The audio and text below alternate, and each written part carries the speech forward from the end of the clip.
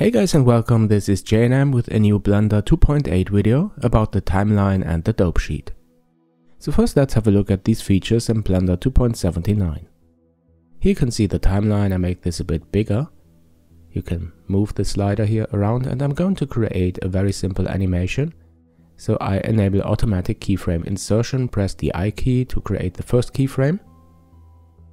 And then I go to frame number, let's say 50, and move this object by pressing the G key. This is my very simple animation, you can see the different frames by moving the slider in the timeline. And here are these yellow lines where the automatic keyframe insertion inserted some keyframes. Now I set the end frame to 50 and the timeline displays the area of the animation with a lighter background from 0 to 50.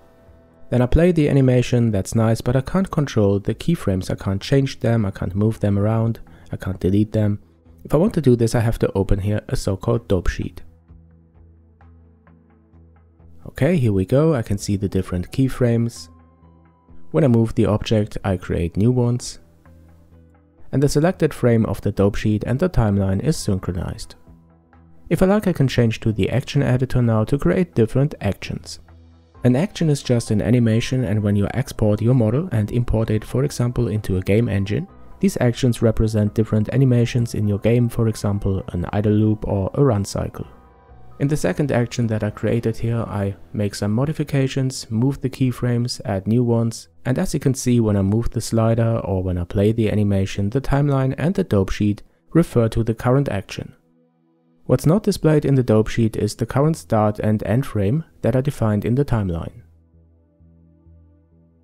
Okay, but now let's see how this looks like in Blender 2.8.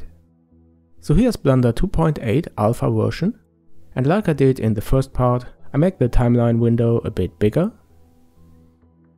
Then I also enable automatic keyframe insertion, press I to add the first keyframe, all the same, but as you can already see here in the timeline we have a keyframe, not these yellow lines anymore. And now move again to frame number 50, press G to move the cube to create this simple animation.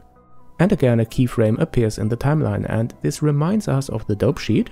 And surprise, it almost is a dope sheet. I can press this little plus icon here and now you can see all the different keyframes for your object. Location, rotation and scale. Again I set the end frame to 50 then I use the automatic keyframe insertion to add new keyframes here at the middle.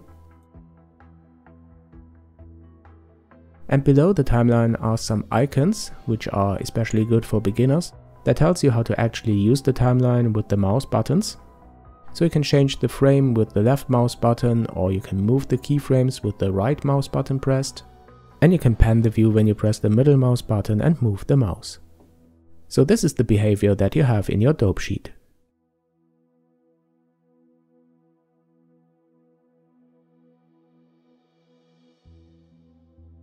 So let's open the dope sheet. You can change the view type now, by the way, by using the drop down in the upper left hand corner of the view, which is better to find when you open a new view than having it in the lower left hand corner.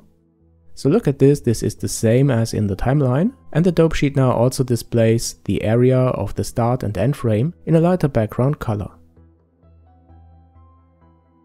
There's also the action editor as before, and if you like you can manipulate the keyframes of your actions in the dope sheet or in the timeline. So in my opinion this is definitely a great improvement, but let's compare the features of the dope sheet and the timeline. To me it looks like that the only things you can't do in the dope sheet is to start and stop your animation to enable automatic keyframe insertion and to set the start and end frame of your animation. So perhaps the Blender developers could add these features to the dope sheet, so we wouldn't need the timeline anymore, right? It's just an idea for a discussion so it would be great if you add your opinion about that or other ideas to the comments below. Thanks a lot for watching this. I hope you liked the video and this channel and if you do then don't forget to subscribe. If you want to support me consider being my patron, this would really help a lot. Thanks for this in advance and I'll see you in the next one.